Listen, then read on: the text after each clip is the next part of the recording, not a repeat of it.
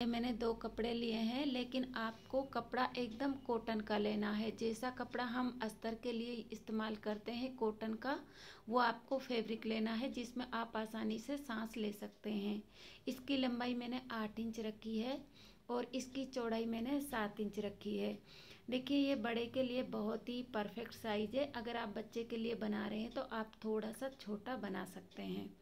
अब हम इसको ऐसे बीस सेंटर से मोड़ेंगे। और देखिए, यहाँ पे हम इसमें एक सवा इंच पे नीचे की साइड से ऐसे निशान लगाएँगे और यहाँ पर भी इतनी ही दूरी पे लगाएँगे। इसके बाद देखिए, ऊपर से हम एक इंच पे ही लगाएँगे। एक से पौने इंच पे ऊपर की तरफ़ लगाएँगे, जो खुले वाली साइड है। अब इसको हम ऐसे फोल्ड करेंगे और अब हम देखिए यहाँ से इसकी ऐसे कटिंग करेंगे गुलाई में। और यहाँ से हल्की सी गुलाई देंगे।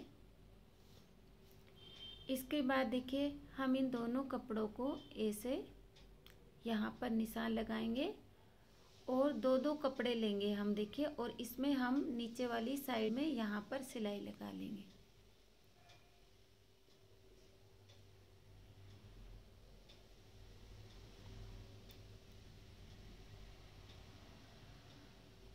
इसके बाद देखिए, ये हमने सिलाई लगा के कंप्लीट कर ली है। आप देख सकते हैं। अब हम एक इलास्टिक लेंगे। ये आप देख सकते हैं। ये इलास्टिक है और इसकी जो लंबाई है, वो मैंने आठ इंच रखी है। अगर आपके पास इलास्टिक नहीं है तो आप कोई कपड़े की डोरी भी लगा सकते हैं।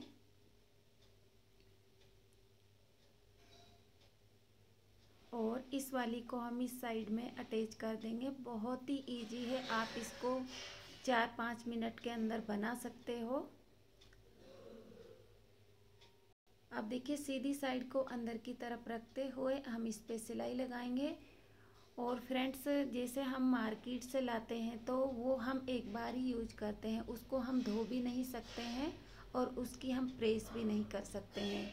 और जो हम घर पे बनाते हैं उसको हम आराम से धो सकते हैं, प्रेस कर सकते हैं। और देखिए, अब यहाँ से मैंने थोड़ा सा ये खुला रखा है। यहाँ से हम इसको ऐसे सीधा करेंगे।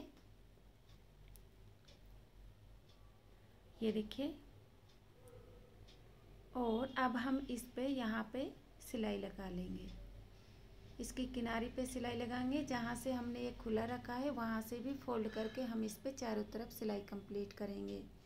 फ्रेंड्स जैसा कि मैंने आपको बताया, इसकी हम प्रेस कर सकते हैं। प्रेस करने से देखिए, जब गर्माई की वजह से जो भी हमारे वैसे कीटाणु रहते हैं, वो भी मर जाते हैं। तो फ्रेंड्स आप इस तरीके से घर पे बना के बहुत ही अच्छी तरीके से इनका इस्तेमाल कर सकते हैं। देखिए थोड़ा सा आपको अंदर से डीप रखना है, ताकि पहनने पे ये कंफर्टेबल रहेगा और बहुत ही आरामदायक भी रहता है और आप इसको आराम से वॉश कर सकते हो, यानी कि धो सकते हो, फिर इसकी प्रेस कर सकते हो तो इस तरीके से आप इसको बना के पहन सकते हैं।